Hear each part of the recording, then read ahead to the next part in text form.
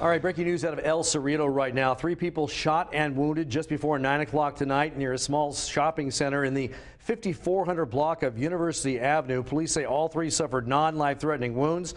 Authorities believe the sh shooting actually happened near the Burlington coat factory. You see that there and also in front of the Northgate Market. Now, some people may have gone into these nearby businesses to get away from the gunfire.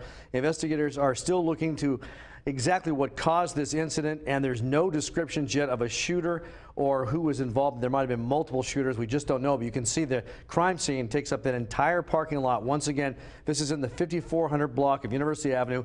Three people wounded tonight, all three expected to be okay. That is the good news. We'll stay on this story for you and have any updates coming up tonight on the Fox 5 News at 11.